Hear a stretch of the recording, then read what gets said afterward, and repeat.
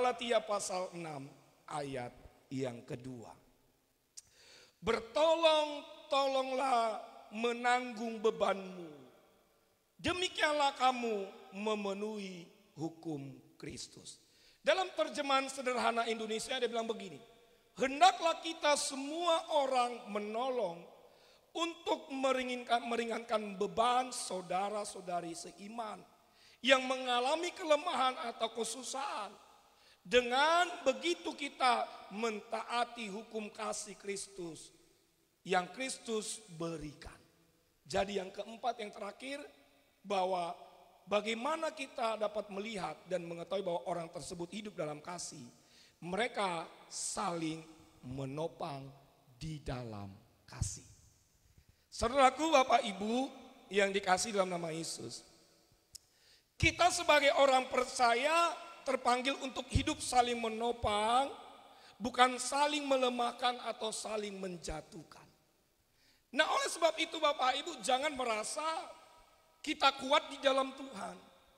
Jangan merasa kita tidak butuh orang lain, kita butuh orang lain. Saya teringat Bapak Ibu dalam dalam kitab Mazmur di mana dikisahkan pemazmur menggambarkan hidupnya pada saat itu dia dalam keadaan lemah. Di mana saat itu dia dalam keadaan terjepit dan mengalami yang namanya penderitaan. Tetapi pemazmur mengandalkan Tuhan dalam kehidupannya. Pemazmur mengatakan hanya Tuhanlah sumber kekuatan dan pertolonganku selama-lamanya. Saudaraku, Bapak Ibu yang dikasih nama Yesus, mungkin saudara hari ini butuh pertolongan dari seseorang. Tetapi pertolongan seseorang itu tidak kunjung datang. Jangan pernah kecewa. Ada satu pribadi yang selalu menolong kita. Yesus namanya. Saudaraku, bertolong-tolonganlah kita. Kalau kita melihat ada saudara kita yang lemah, yang ingin butuh pertolongan, tolonglah dia sesuai dengan kemampuan kita. Menolong seseorang itu bukan hanya memberikan satu materi kepada orang lain. Apa yang saudara bisa tolong?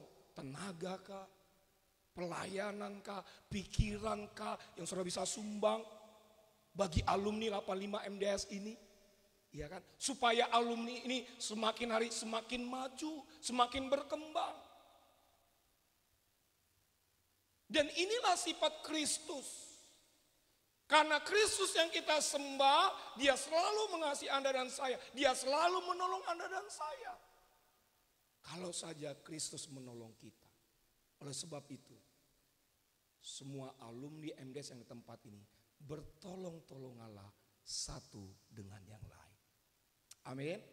Tapi kalaupun misalkan pertolongan dari orang tidak datang, tidak kunjung datang atau mengecewakan, ada satu pribadi yang selalu menolong kita, siap sedia 24 jam.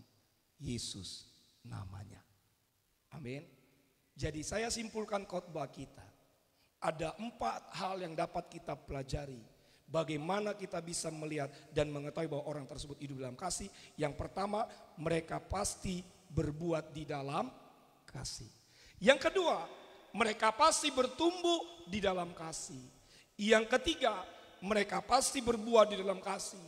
Yang keempat, mereka pasti saling menopang di dalam kasih. Jadi kalau keempat hal ini kita lakukan, kita percaya. Saudara hidupnya diberkati, saudara sehat, panjang umur, rumah tangganya, usahanya, anak-anaknya diberkati oleh Tuhan. Beri tepuk tangan dulu buat pujian Allah kita. Yuk, sama-sama kita bangkit.